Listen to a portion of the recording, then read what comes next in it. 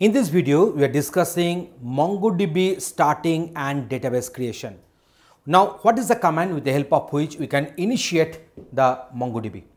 So, open up the command prompt for Windows or terminal for Linux and then type Mongo to start the Mongo shell.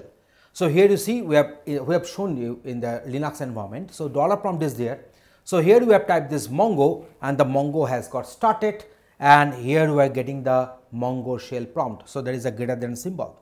So, type Mongo to start the Mongo shell and we have typed the Mongo command and respective shell has got obtained. This prompt is indicating that the shell has got loaded. Now, in the Mongo shell type use database name. So, whatever the database name you prefer, so that has to be written. So, it will create a new database and use it as the current database. So, if the database is pre-existing, it will use that one. Otherwise, if the database is not pre-existing, it will create the database and it will use it. So, here you see in the prompt we have written use new DB. So, this particular message will be displayed that is switch to DB new DB. So, now we can use this particular database. Now, we can go for different other commands execution on this respective database. So, I think it is better let us go for one practical demonstration to show you that how this command is actually working. At first we shall open one terminal. So Control Alt T a terminal has got opened. Now we shall go for sudo service mongodb and then start. It is asking for the password. I've given the password here. So now the service has got started. So I shall go for MongoDB. I shall go for Mongo to get our shell. So now we shall go for show DBS. So I want to see all the pre-existing databases. We're having admin, config and local. So three databases are there. Now let me create my own database. I shall go for use my database. So that is my database.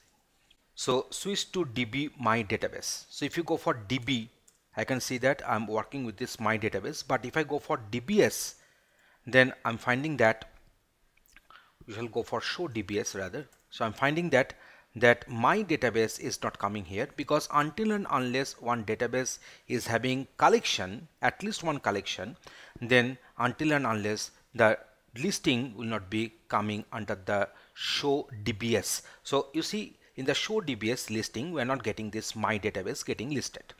So in this way we can create one database and we can switch to that immediately. So if this my database was pre-existing, then obviously use my database will just switch to the database.